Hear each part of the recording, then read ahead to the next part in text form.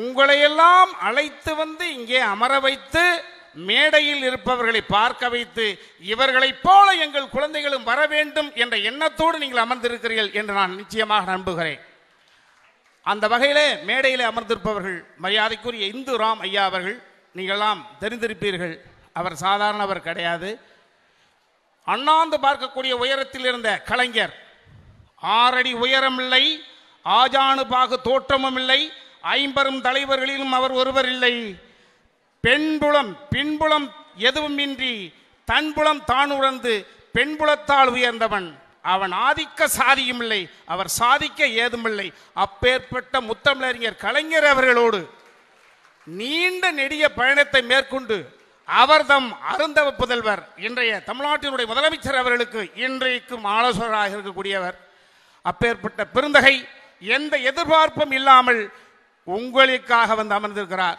இது நாளைக்கு நீங்களும் வளர்வீர்கள் வளர்ந்து மிகப்பெரிய இடத்தை அடைவீர்கள். இந்த காட்சி உங்களுக்கு மிகப்பெரிய ஒரு அற்புதமாக இருக்கும்.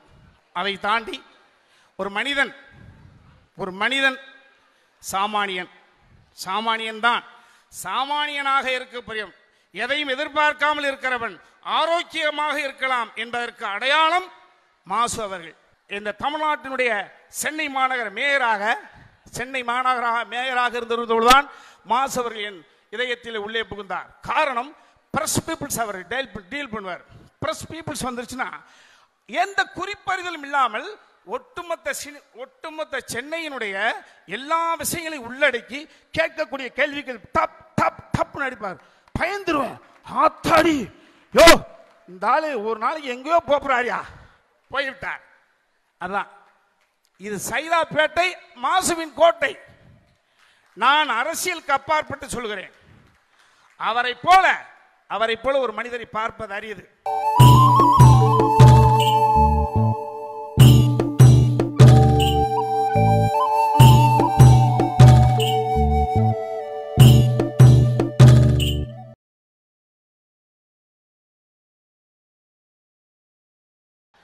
உழைப்பு என்பது உடல் வலி அல்ல. உடல் வலியும் ஒரு உழைப்பு. பணவழியும் ஒரு உழைப்பு. அதிகாரத்தை கைப்பற்றி அதன் மூலமாகவும் மக்களுக்கு உழைப்பு. சிந்தனை வாயிலாகவும் உழைப்பு. இறுதியாக இன்றைய தினம் குழந்தைகளின் விரல்களின் வாயிலாகவும் ஒரு உழைப்பு. பெரியவர்கள் உழைத்தால் ரசிக்கலாம். குழந்தைகள் உழைக்கிற பொழுது அதை பார்த்து கொண்டே இருக்கலாம். ஒரு செடியிலிருந்து பூ பூப்பதை போல குழந்தைகள் தங்களின் விரல்களை பிடித்து இன்றைக்கு ஆளும் தலைவன் வாழும் தலைவனை பற்றிய அந்த முகப்பை வரைந்திருக்கிறீர்கள். அந்த நிகழ்வுக்கு நானும் வந்திருக்கிறேன் என்று அரசியல் அப்பாற்பட்டு ஒரு பொதுநலம் சார்ந்த ஒரு நிகழ்வு. அனைத்து சமுதாய மக்களும் அனைத்து அனைத்து பேரும் இங்கே அமர்ந்திருக்கிறீர்கள் என்ற நம்பிக்கையோடு இங்கே நான் வந்திருக்கிறேன். மூன்று நிமிடங்களுக்கு முன்னால் பூத்த முல்லை மலர்கள் போல அமர்ந்திருக்கும் அன்பிற்கினிய இந்த போட்டியில் பங்கு பெற்ற சிறார்களே சிறுமிகளே உங்களையெல்லாம் ஈன்றெடுத்து எங்களின் குழந்தைகளுடைய எதிர்காலம் வளம் பெற வேண்டும் என்ற கனவோடு அந்த குழந்தைகள் அருகிலே அமர்ந்திருக்கக்கூடிய தாய் தந்தையர்களே உங்கள் அனைவரையும் நான் வணங்குகிறேன். உங்களையெல்லாம் அழைத்து வந்து இங்கே அமர வைத்து மேடையில் இருப்பவர்களை பார்க்க வைத்து இவர்களைப் போல எங்கள் குழந்தைகளும் வர வேண்டும் என்ற எண்ணத்தோடு நீங்கள் அமர்ந்திருக்கிறீர்கள் என்று நான் நிச்சயமாக நம்புகிறேன். அந்த வகையிலே மேடையில் அமர்ந்திருப்பவர்கள் மரியாதைக்குரிய இந்து ராம் ஐயா அவர்கள் நீங்களாம் தெரிந்திருப்பீர்கள். அவர் சாதாரணவர் கிடையாது. அண்ணாந்து பார்க்கக்கூடிய உயரத்தில் இருந்த கலைஞர். ஆறடி உயரம் இல்லை ஆஜானு பாகு தோற்றமும் இல்லை ஐம்பெரும் தலைவர்களிலும் அவர் ஒருவர் இல்லை. பெண்புலம் பின்புலம் எதுவுமின்றி தன்புலம் தான் உணர்ந்து பெண்புலத்தால் உயர்ந்தவன். அவன் ஆதிக்க சாதியும் இல்லை அவர் சாதிக்க ஏதுமில்லை. அப்பேற்பட்ட முத்தமிழறிஞர் கலைஞர் அவர்களோடு நீண்ட நெடிய பயணத்தை மேற்கொண்டு அவர்தம் அருந்தவ புதல்வர் இன்றைய தமிழ்நாட்டினுடைய முதலமைச்சர் அவர்களுக்கு இன்றைக்கும் ஆலோசகராக இருக்கக்கூடியவர். அப்பேற்பட்ட பெருந்தகை எந்த எதிர்பார்ப்பும் இல்லாமல் உங்களுக்காக வந்து அமர்ந்திருக்கிறார்.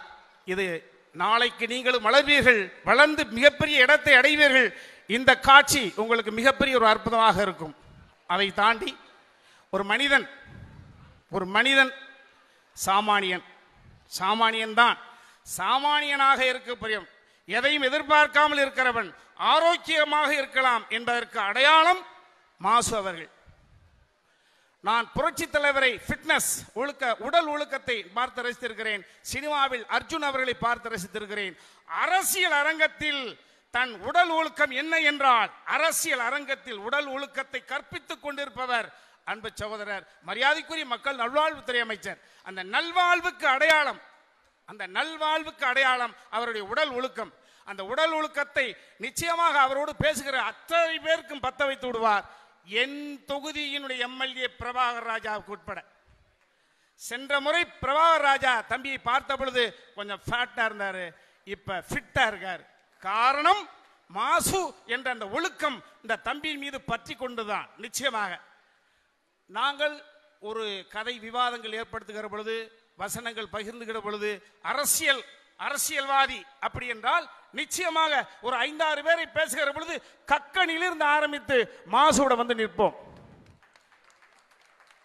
மாற்று முகாம் மாற்று முகாமில் இருப்பவர்களும் குறைபண்டி முடிக்க முடியாத அளவுக்கு இந்த அவசர உலகத்தில் ஒருவர் அரசியல்வாதியாக இருக்க வேண்டும் அதிகாரத்தில் இருக்க முடியும் என்றதை நிரூபித்துக் கொண்டிருப்பவர் மக்கள் நல்வாழ்வுத்துறை அமைச்சர்.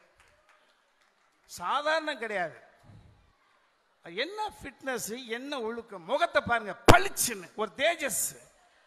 அந்த வகையிலே அவர் கூப்பிட்டால் எந்த இடத்தில் இருந்து அவர் கூப்பிட்டாலும் எப்பொழுது கூப்பிட்டாலும் வருவேன். அந்த வகையில் என்ன? அன்பு தம்பி கருணாநிதி அமைச்சர் அழைக்கிறார் வர முடியுமா என்றார்.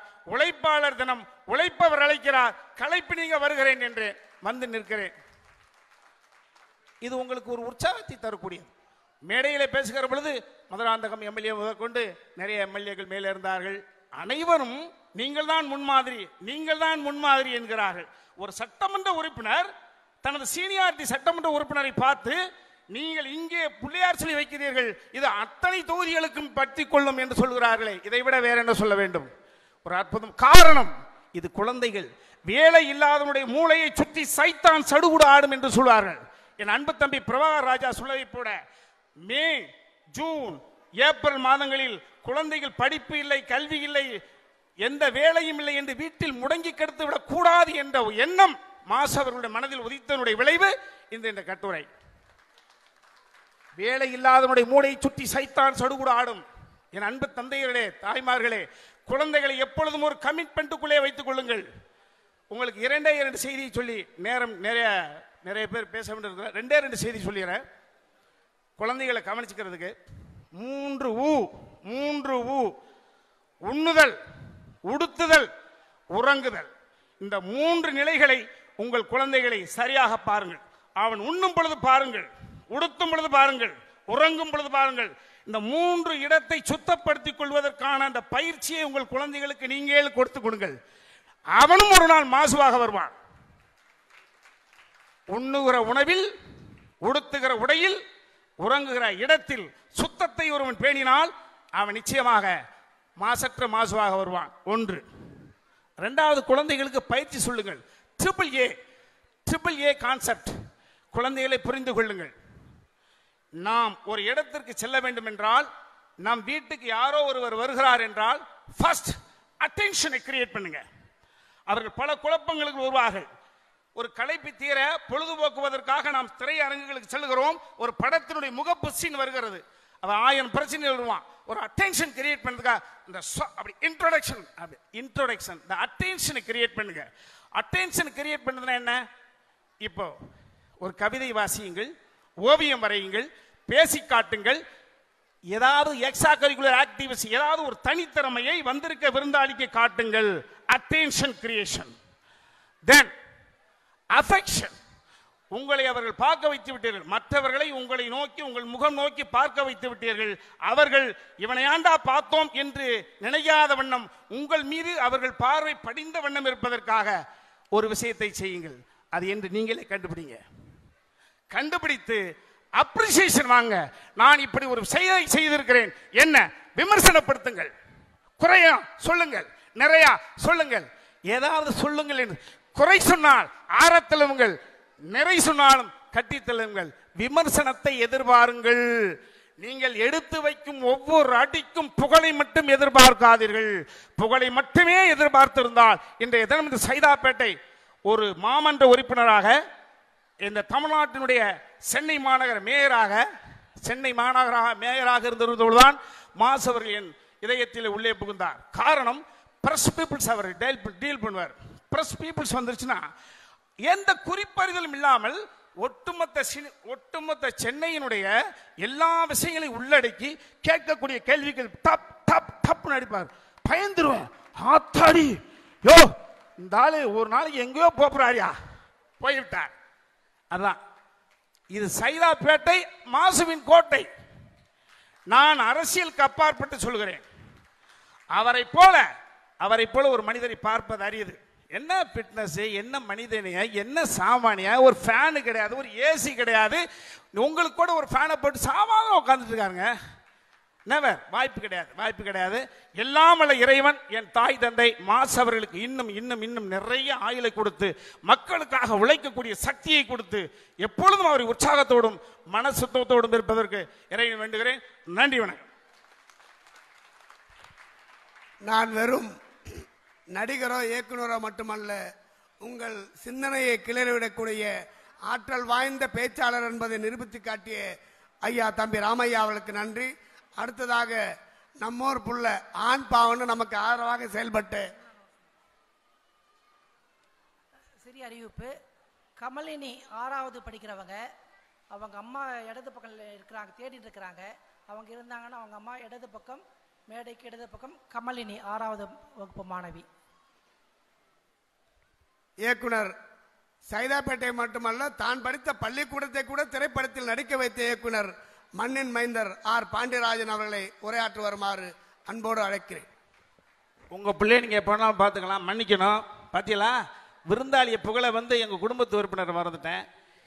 சினிமானா சில வருடங்களுக்கு முன்பு மன்னிக்கணும் மேடையில் இருக்கிறவங்க. சினிமா அப்படின்னா மதுரையிலிருந்து வந்தவர்கள் தான் என்னை போல புதுக்கோட்டை திருச்சி தஞ்சாவூரிலிருந்து வருபவர்கள் தான் அல்லது பாக்கியராசார் போல கோயமுத்தூரிலிருந்து வருபவர்கள் தான் சென்னையில் மாநகரத்தில் பிறந்தவர்களுக்கு கிரியேட்டிவிட்டி கம்மி. அவர்கள் சினிமாவில் ஈடுபட முடியாது என்று இருந்த ஒரு காலத்தை உடைத்து உடைத்து நொறுக்கி அரசியல் அடையாளமாக மாசுவை போல இக்கலையின் அடையாளமாக கலையின் அடையாளமாக சின்னம் சிறு வயதிலே ஆண்பாவம் மூலமாக உச்ச கொம்பை தொட்டவர்.